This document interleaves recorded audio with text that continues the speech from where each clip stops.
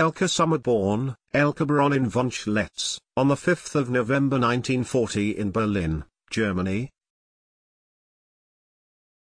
During World War II the family were evacuated to a small town where she attended high school. Her father died when she was 14 years old.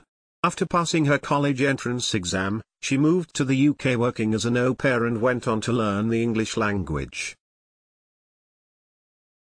During a holiday in Italy, Elke was spotted by a film director and appeared in movies in Italy in 1958. In the same year, Elke went on to change her surname from Schletz to Sommer. She became one of the popular pin-up sex symbols and moved to Hollywood in the 1960s and appeared in the Playboy magazine. During the 1960s, Elke starred in several movies alongside the likes of Peter Sellers, Dick Van Dyke, and Dean Martin. She also appeared in a couple of horror movies and comedies.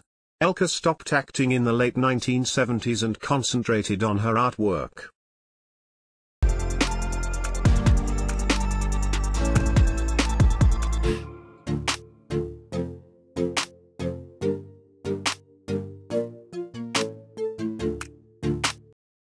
During her acting career which took her around the world, she learned seven different languages.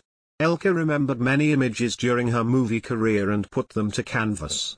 She was influenced by Marc Chagall, a Russian-French artist. Elke was embroiled in a battle with Zsa Gabor, an Hungarian-American actress in 1984 when they both appeared in a movie Circus of the Stars.